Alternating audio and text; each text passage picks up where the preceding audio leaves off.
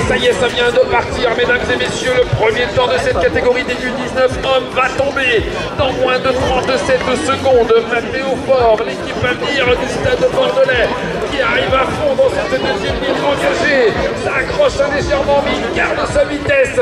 Allez, place maintenant à cette troisième ligne. Allez, on va être bien sûr attentif à cette troisième ligne droite réalisée par Mathéo Fort, le pilote du stade de Bordelais. La Nouvelle-Aquitaine donc est à l'honneur, représenté par ce rider Mathéo Fort. Mathéo Fort qui est soutenu par un public ici d'enfer et qui va donner donc le temps, le meilleur temps actuellement de cette super finale. 37-0-29.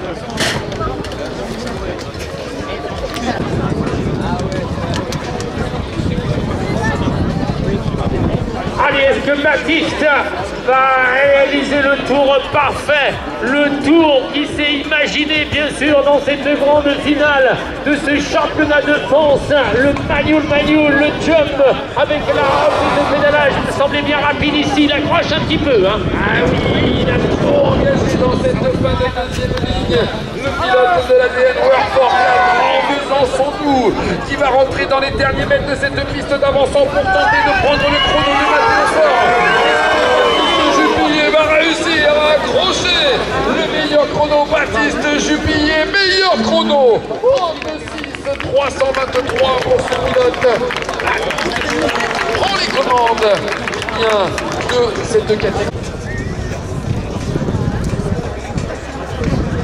Arthur Bretin-Monard va réussir à faire le passage pour aller prendre le trône obtenu actuellement par Baptiste Jubillet en 36 5 323 L'efficacité pas mauvaisante, ça accroche Mathieu dans cette deuxième ligne. Ah oui, il était un petit peu à l'arrêt hein, dans la deuxième ligne droite. Il est obligé de relancer pour éventuellement eh bien, accélérer, reprendre quelques kilomètres heure hein, ici dans cette troisième ligne droite. Ça revient vite avec Arthur Bretin-Monard qui a les ressources d'accélérer encore. Ça semble mieux, ça semble bien mieux dans la fin de piste.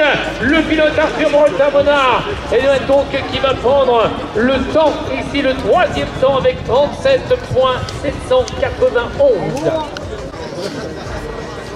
Allez, rappelez-vous la saison dernière, c'est lui qui était monté sur la plus haute marche du podium du championnat de France, Time Trial, et il a envie bien sûr d'aller chercher une nouvelle victoire ici, dans cette région de la Nouvelle-Aquitaine, sur la piste d'avançant. Zachary Néel, hein, qui subit également un petit peu la deuxième ligne droite, mais qui reste encore solide. Ah oui, pas simple le deuxième obstacle dans cette section mais regardez bien l'efficacité de cette troisième ligne. Zachary Néel qui va aller chercher le temps de Baptiste Jubillet. Zachary Néel, l'anglais mix vert de travers dans les derniers mètres. Est-ce que ça sera efficace? Deuxième place pour Zachary Néel en 36 941.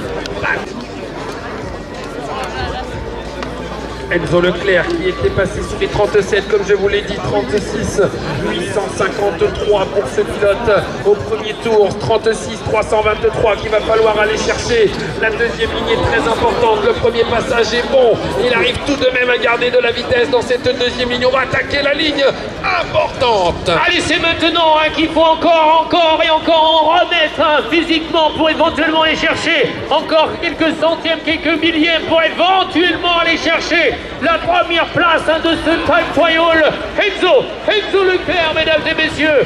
On va voir son temps, on observe bien sûr. Enzo Leclerc, 35 977.